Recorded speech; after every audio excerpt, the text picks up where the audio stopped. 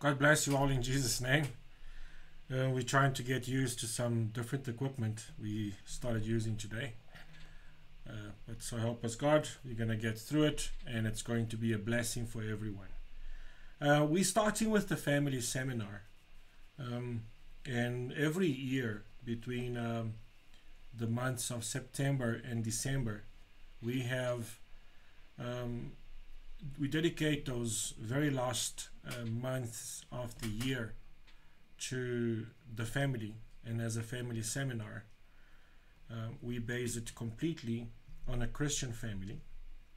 And we use a lot of um, the book of ephesians. In fact we do study the book of ephesians practically verse by verse and chapter after chapter. We do include a few other passages of the Bible.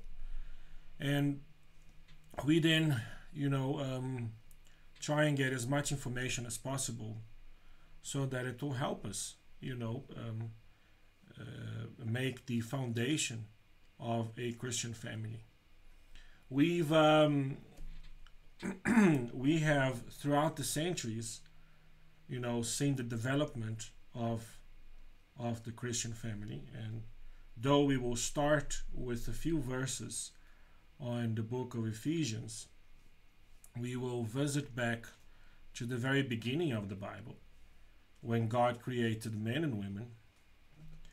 And we will see that the person that instituted, that created this institution, which is the human family, was in fact our God, our Creator, our Lord. and we'll look at the development throughout the centuries. You know, uh, how did the modern family come about? And many aspects of this family today. Though we will focus mainly on Christianity or Christianity as a basis, um, we will see that it is impossible to have a Christian family without the most important person, which is Christ. And perhaps we should start there. You know, what is the word Christ? The word Christ um, comes from a Greek word, word called Christos, which means anointed. But why was he anointed? Why is this anointing such in, of such importance? And it brings back to the original Hebrew, which is the word Mashiach, which is anointed, which means anointed to be king. So the anointing that Christ received, and we see it through the promises throughout the Bible. You know, this uh, this anointing is so important for us today more than any other day. If you allow me just uh, one second, I need to make a small adjustment.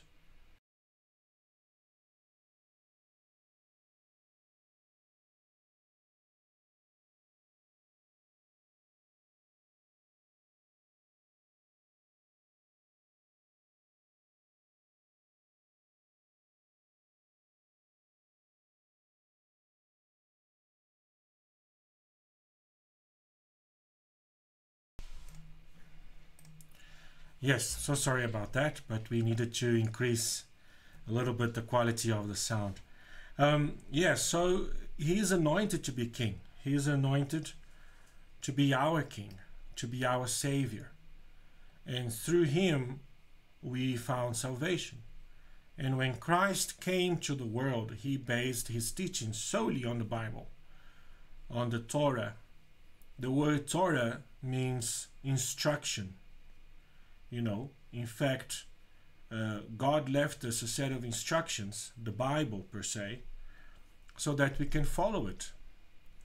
And the whole Bible is based on the uh, most important commandment for for the Jews, which is in Deuteronomy chapter 6, which means, Listen, O Israel, the Lord your God is the only God, is the only one.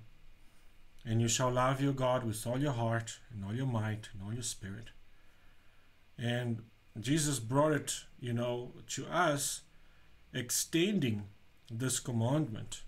And he says that the whole set of instructions that God left us, the Torah, is based on two fundamental commandments, being the first one to love your God with all your heart and all your mind and all your spirit. And the second one, which is as important as the first, to love thy neighbor as thyself.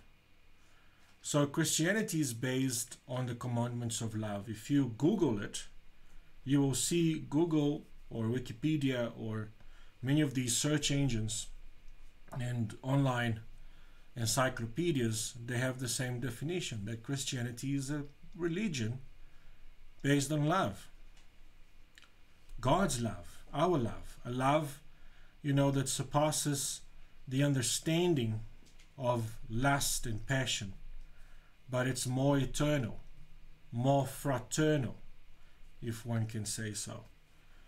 And it, it is in this love that we base the seminar or this, you know, teaching, Bible study about the family. Though we could be going back and forth through through many uh, points of this letter that Paul writes to the Ephesians. And why the Ephesians? You know, why did Paul take this point of view towards them? Because Ephesus, as a city, uh, back in its day, was pretty much like a great, one of the greatest cities in the world today like London or New York or Johannesburg or uh, uh, you know uh, Paris with diversity and many business practices, many religions, many cultures. It was an economic hub for the era. And when you have this, you know, many traditions and many backgrounds, it is important for us to maintain you know, the teachings of Christ more vivid, more um, into practice, if I, if I can, for the lack of a better word at the moment. So we need to practice Christianity. So it is impossible to have a Christian family without Christ. Or we, and first, what we will understand is that you know, on the first few chapters of the letter that Paul writes writes to the Ephesians, you find that it's it's got a very general basis, and Paul introduces many ideas about Christianity and what it is to be a Christian. And when doing so, you know, towards the the latter part of the of the uh, the the epistle that Paul writes, we will find that it takes a more practical approach. So we will, in fact, you know, um, like any course, we will study the theory, perhaps in the beginning, and the concept of salvation and what it is to be a Christian. You know, uh, is it just a physical thing? Is it a set of rules? Yes, there are sets of rules that we need to follow. They are very important. Uh, God is a very organized God. Um, that's why He left us this Bible, this set of instructions, and He calls it, in fact, the word instruction, which is the Torah. You know, Thy word is a lamp unto my feet, uh, which means Thy Thy Torah, you know, is is a lamp. So it shines light it sheds light and it brightens up the situations. And when the light of God shines uh, over a surface, then we will be able to identify what we're dealing with.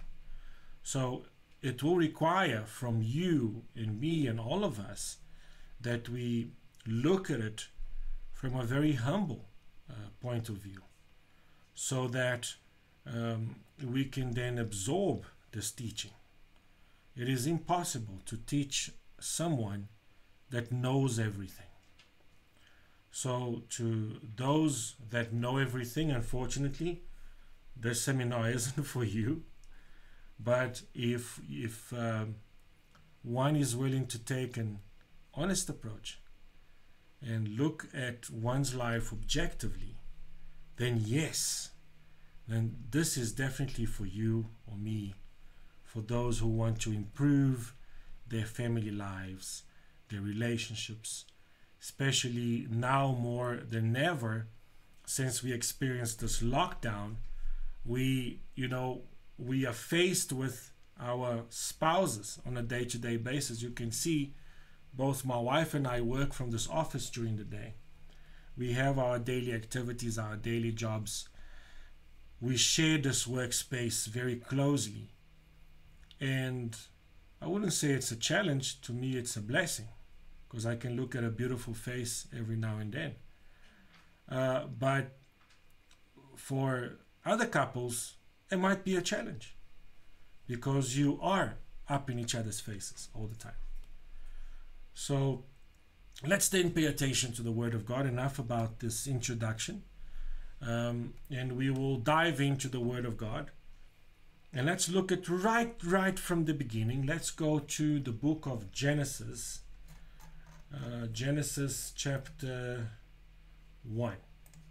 And let's start there right in the beginning. Amen.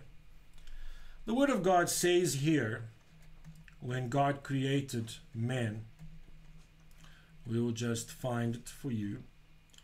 Uh, let's see. Uh, seas, the living creatures. Okay, verse 27. So God created man in his own image, created him male and female created he them.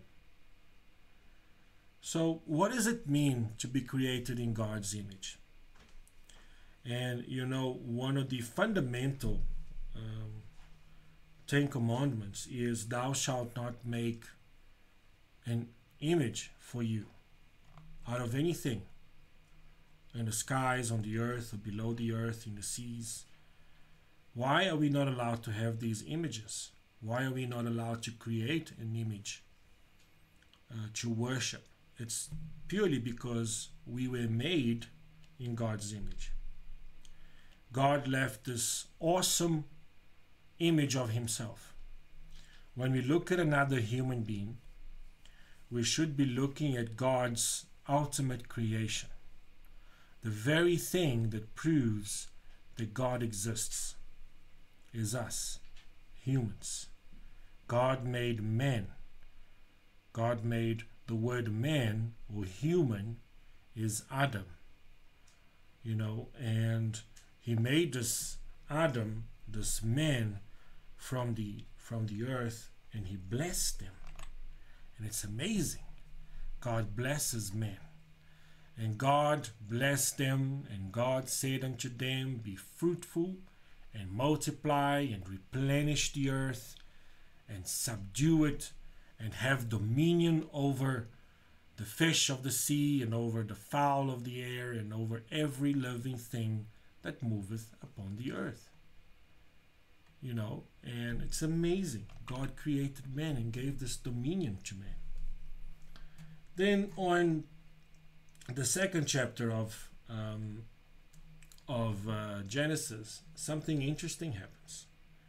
And you know, you might say, how did God create men and women, you know, in his image? And thereafter, you know, um, where was the woman? Because you come to chapter 2 and, and you know, and you see that Eve wasn't there you know and it's quite interesting i was looking at some rabbinical commentaries is that because women the woman was already inside the man, and we will see that. Um, on verse 7 And the Lord God formed man of the dust of the ground and breathed into his nostrils the breath of life. And man became a living soul. So, first of all, we don't have a soul. It's very important to understand this that many people make a separation and they say that we are three we are body, soul, and spirit. But the Word of God says clearly that God placed inside of us His breath, uh, the very part of himself, and we became a living soul, something alive, something as alive as God is alive, you know, because he made us in his image. So you may say, What does God look like? I would say, God looks like you, and God looks like me, and God looks like all of us, because the Bible doesn't lie. Amen. Um, and we became this living soul, which is the most amazing thing. We became this powerful spiritual being, men made in God's image, filled with God's strength and power and knowledge. And, you know, and it's, I, I find it, you know, absolutely amazing. And a little bit further, when we look at chapter at verse 18 of the same chapter, chapter 2. The word of God says, And the Lord God said, It is not good that the man should be alone. I will make him and help meet for him. So here we are. So on verse 1, it say on chapter 1, it says that God formed men and women. Uh, and because the woman, as we will see here, and it will be explained, she was already part of man. For we are one. And out of the ground the Lord formed every beast of the field and every fowl of the air, and brought them unto Adam, to see what he would call them. And whatsoever Adam called every living creature, that was in the name thereof. And Adam gave names to all cattle and to the fowl of the air and to every beast of the field. But for Adam, there was not found a help for him, a help that was dignified. And the Lord God caused a deep sleep to fall upon Adam. And he slept, and he took one of his ribs and closed up the flesh instead thereof. And the rib which the Lord God had taken from man made he a woman and brought her unto the man. So that is why on chapter 1, God made male and female.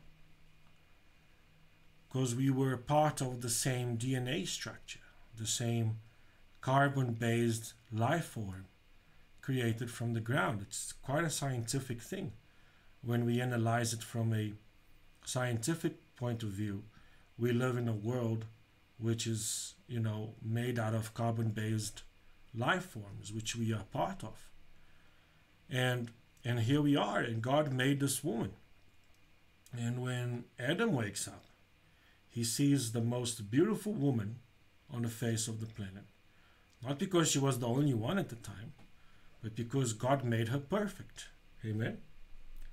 And there are many ideas about woman. And God identified that it would be not good for Adam to be alone. So it wasn't my choice or your choice. God knows everything and He knows best. And it is not good for men to be alone.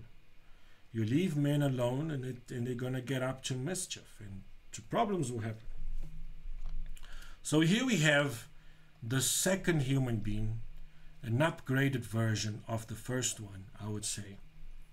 You know, um, a human that's faster, thinks a lot faster, speaks a lot faster, um, is able to multitask um, better, and but like any upgrade, you know, there are, uh, and we see this even with cell phones today the next generation of cell phones might be faster and might be stronger in a, from a certain point of view, but they are also more fragile. You know, if you look back at the first cell phones that came out, there was the famous Nokia 3310.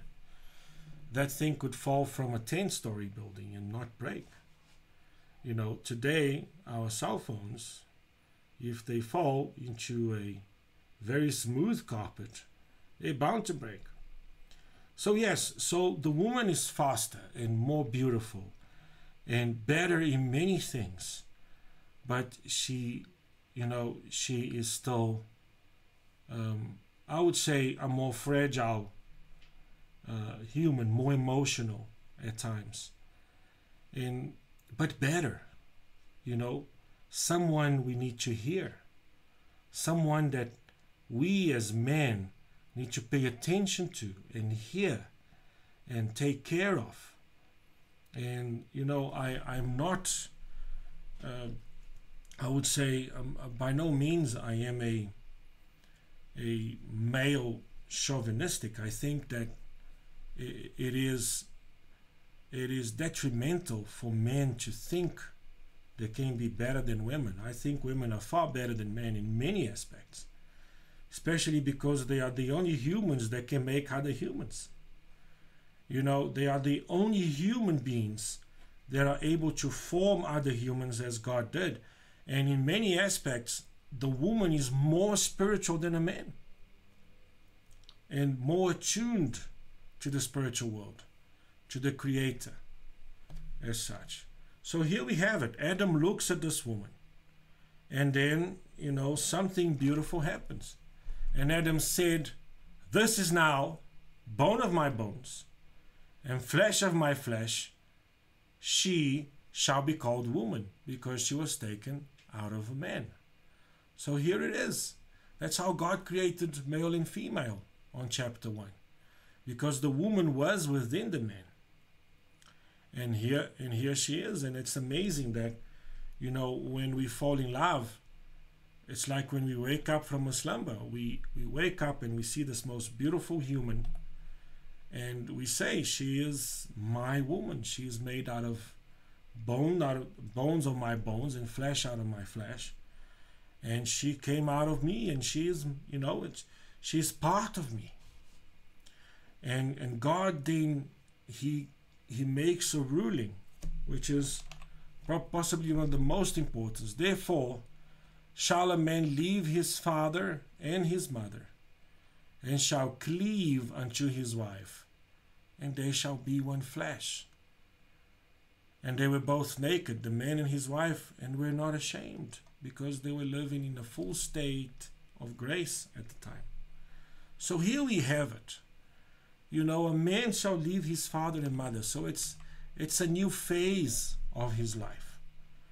You know where you know you start figuring out things you know between the couple and then it's a completely different person that comes into one's life and not only we need to adapt but we need to grow together because there will be a family and we shall be one flesh.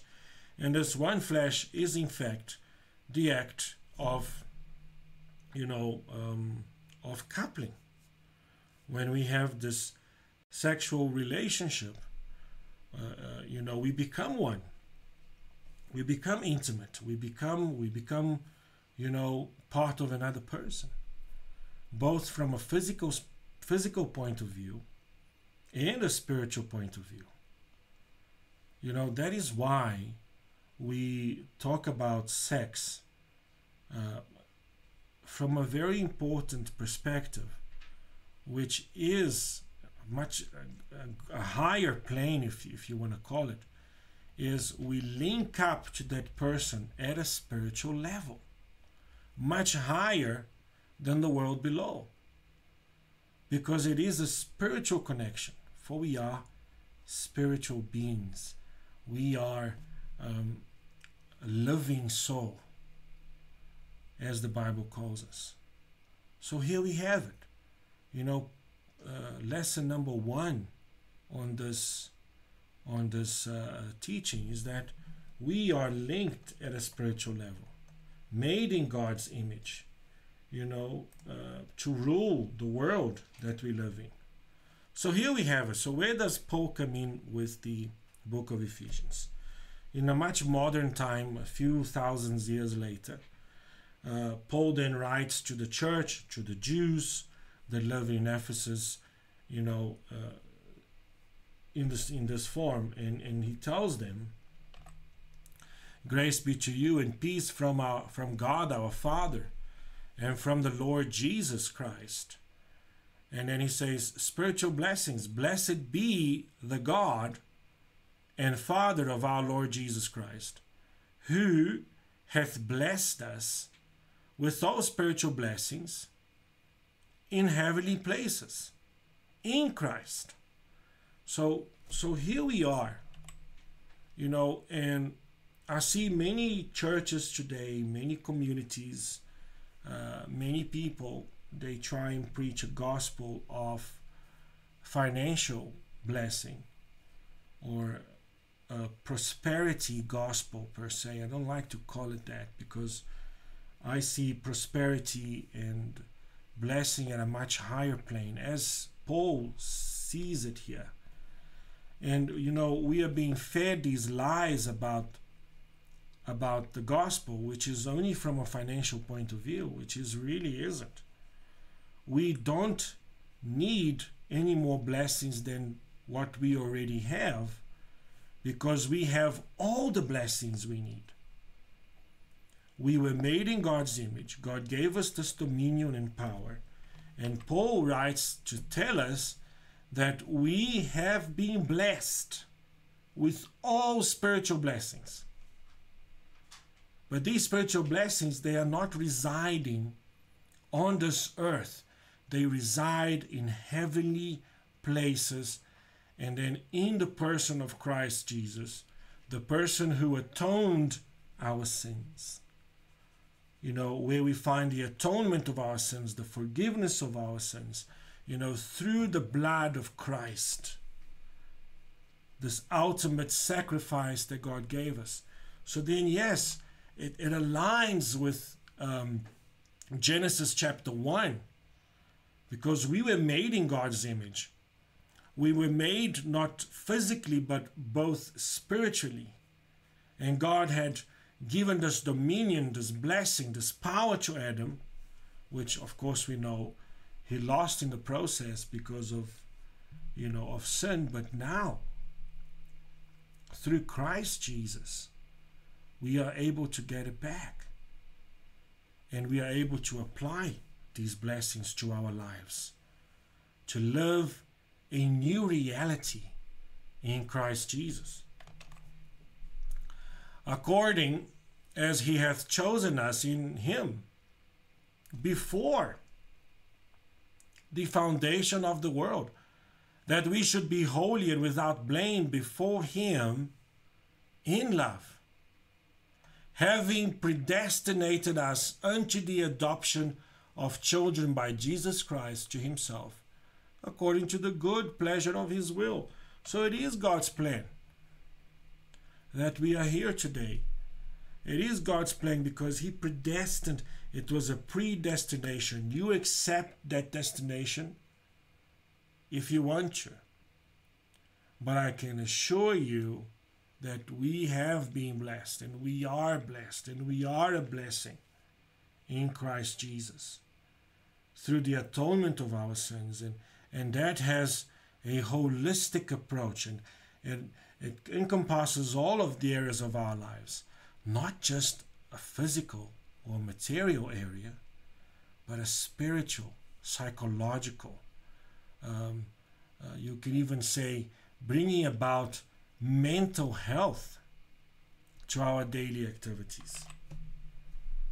To the praise of the glory of His grace, wherein He hath made us accepted and in the beloved, which is Christ Jesus, in whom we have redemption through his blood, the forgiveness of our sins, according to the riches of his grace. Again, talking about a spiritual treasure, which is in fact the very grace of God. We didn't deserve it, but he gave it to us.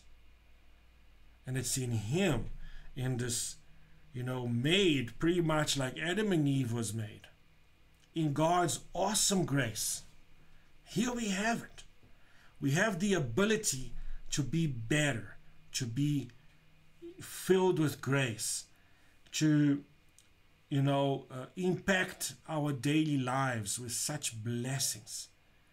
And this is what it's expected of us as Christians to live, you know, in this very, very powerful manner. Wherein he hath abounded towards us in all wisdom and prudence, having made known unto us the mystery of his will, according to his good pleasure, which he hath purposed in himself. So here in verse 9, we start dealing with a very interesting subject. What is the mystery of God's will? What is God thinking? And it is a mystery. You know, can we know what God wants? Is it possible that He could reveal us this mystery of God's will? You know, and we will study this this letter that Paul writes. You know, and and we see so many scholars trying to study the Bible and trying to decipher God's will, and they try and do it by, you know, uh, from a very intellectual point of view, and they fail because you cannot try and explain God. It's it's it's like an it's like a small insect trying to explain a human being. You know, it's impossible. So it has to be done at the same level that God is. And God is God is in he's spiritual. And he gave us part of himself and that's why when we link up with God at that spiritual level then we believe and we are made known of the thoughts of God. It's the most amazing thing um, that in the dispensation of the fullness of times, he might gather together in one all things in Christ, both which are in heaven and which are on earth, even in him. So the mystery of God's will is that He's bringing us all into this oneness. You know, this the Hebrew word for, for oneness is echad. And it's uh, from Deuteronomy chapter 6 when it says, The Lord your God, listen, O Israel, Shema Israel, Adonai Eloheinu, Adonai Echad, which means, Listen, Israel, the Lord your God is the only one. But is in the unity, the word Echad it's not in its uh, singular form and it's in its plural form, which is the most amazing thing because it's in Him, Christ Jesus. You know, it talks about this unity that God is. And and we become one in him. One in God, one with God. It's very powerful. Jesus talks about that. You know, uh, you are the branches, I am the true vine. We are linked together by God Himself, in whom also we have obtained an inheritance, being predestinated according to the purpose of Him who worketh all things after the counsel of His own will, that we should be the be to the praise of His glory, who first trusted in Christ, in whom you also trusted. After that, you heard the word of truth, the gospel of your salvation, in whom also after that you believed. You were sealed with that Holy Spirit of promise. So here talks about this ultimate promise. You know, the promise of marriage, which will take us, you know, to possibly the next lesson. I don't want to exhaust our time today, but you know, the, it's very interesting on Jewish tradition how marriage works, and and there is a thing which you know in in modern times. I'm talking about the New Testament times. They call it the letter of divorce, but in fact, it was something you know that was given to the wife upon you know the promise of marriage and and, and this thing is called ketubah which is in fact uh, meaning the written thing you know it was a written document that would specify and we see this in the case of um, when Abraham sends his servant to find a wife for, for, for, for Isaac. And thereafter, you know, uh, Jacob works a certain uh, journal of, of years. You know, he journeys through these years to, to settle the debt of marrying both of his wives, you know, uh, Rachel and, and, and, and Leah. And, and this written thing is, in fact, the price that the husbandman pays, you know, to be the husband, not to buy a woman as a thing that is bought, but it's a term of responsibility. And God, uh, in, in the form of Christ Jesus, on John chapter 14, and the whole of John chapter 14 is in fact a written thing, a written promise when, when Jesus then promises us housing. I shall go and build you a place. That is typical marriage proposal. So you can't marry a woman without a house. Where are you going to put her? In the street? No, you got to make a house. So then, John chapter 14 I shall build you houses, I shall make a place for us, so that wherever I am, there you shall be. And then ultimately, he then gives us the promise of this Holy Spirit, and I will call upon him.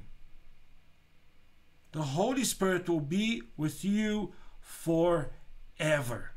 Forever, you will be part of the Spirit of God. Forever, you will be linked spiritual as Adam was linked with God through his Spirit, through his Ruach Kodesh, which is the Holy Spirit, this holy breath of life. So we are linked unto God, which is the earnest of your inheritance, until the redemption of the purchased possession unto the praise of his glory. So we are dealing with the ultimate gift the ultimate wedding ring, the ultimate marriage proposal, a spiritual one, one that's made in the heavens, but not to a single person, but to a, a holy body. That's why the church is called the body of Christ. That's why the church is called the bride of Christ. That's why throughout, you know, uh, uh, history in the Bible, God always refers to his people as his wife. Because it's that relationship that we're dealing with. So, all these aspects will fall into place during the course of our seminar. But where I want to get with you up to here on, on chapter 15, on, on verse 15 of chapter 1 is that this is very, very much a spiritual um, gathering in Christ Jesus. You know, is a spiritual marriage, pretty much like the one that Adam had with Eve. And how will it impact us? It impacts us because we need to be responsible for this, this spiritual power that God has given us, these spiritual uh, possessions. Wherefore I also, after I heard of your faith in the Lord Jesus and love unto all the saints, cease not to give thanks for you, making mention of you in my prayers. And God writes, you know, and Paul writes to them because the testimony of their actions were vivid, were real. You know, they were testifying through their actions the, the power of their Christianity. It is a way of life. It's much higher than a simple set of rules made by man, but it is a spiritual gathering. It's we're joining with the oneness of God. And that's where this, you know, family seminar is based upon, upon these teachings of spiritual blessings. So we will end our lesson here today and we'll carry on from verse 15 next week. And let me tell you, we are not in a hurry to finish the letter of Ephesians. We will take it as it comes, verse by verse. We're going to explore it extensively. We will travel through the Bible unto the many different examples we have of families. And in doing so, I pray unto God that your family may be blessed, that um, your communion with your husband or your wife and your children, how you behave at home, how you deal with one another's, um, you know, um, uh, let's say, emotional uprisings, you know, all of that gets gathered together. And it is very important that we never forget that it's in Christ Jesus that we have our Christian family. It is in God Himself that we were made in His image. And it's so important that you never forget where you came from. That you never forget that you came from God. And when, when you look at your husband, I want you to, when, when you look at your wife, when you look at your children, when you look at your parents, uh, you know, you need to see God because they were made in God's image. May God bless you all. May His grace shine upon you. May the communion of the Holy Spirit fill your lives. May you all be blessed. In Jesus' name, Amen.